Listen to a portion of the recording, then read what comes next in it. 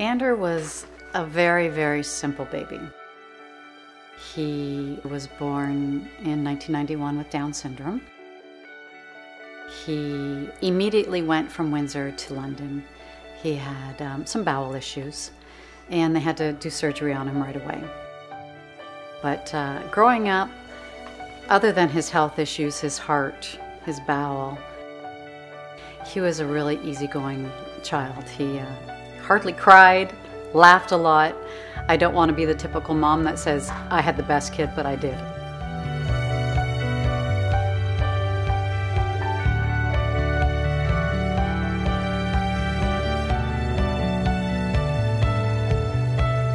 One day, Andrew was talking to his cousin. His cousin had recently started college, and Andrew was so excited about hearing everything that his cousin was doing at college. Andrew said to me afterwards, Mom, I really want to go to college.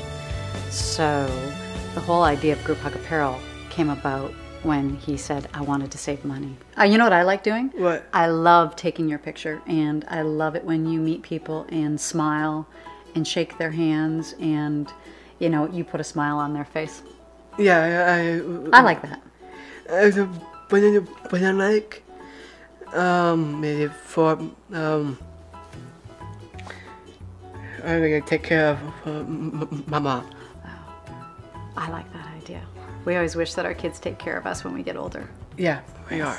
Mm-hmm. You know. Andrew had said that he wanted to sell lemonade, but I saw one of his cool drawings. He's a drummer, loves music, you know, always, always playing music and, and listening to uh, different artists and stuff.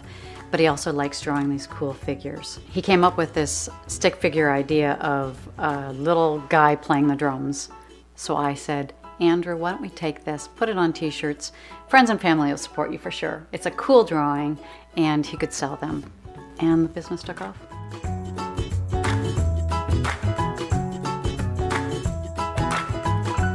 The idea was just Andrew experiencing college. He wanted to do things like everybody else does. And then it grew into Andrew wanting to donate to other kids, sick kids, people who are in need. I like to help uh, help help people. Uh, that should be a hero. Yeah, you are a hero. I'm doing to help sick kids too. Yeah, helping sick kids is important, isn't it? Yeah, it does. Yeah. Have you gone through a lot of health issues growing up? Yeah.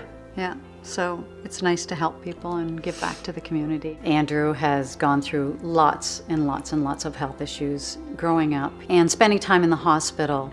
You know that it's important to always help others. And when we were there, we saw a lot of kids that were in need. And Andrew kind of experienced that. When you see people who are sick and when you see your own child go through so many different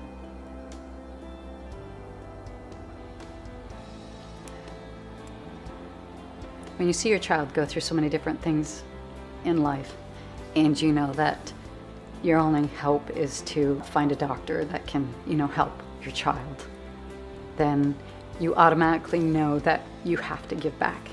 You have to give back. And that's something that Andrew has always wanted to do, and he's taught me to be a good person that way. I like being help people. I, I've been doing in my life, I've been doing my uh, helping people. Andrew is, you know, he's my daily inspiration. He lets me get up and put a smile on my face because of everything that he has accomplished. He's overcome challenges throughout his life, if it's the health issues again, but even learning in school. We have, um, he learned how to read, he learned how to write, you know, he does simple math. Well, we, uh, she make me laugh, and she make me smile, you know?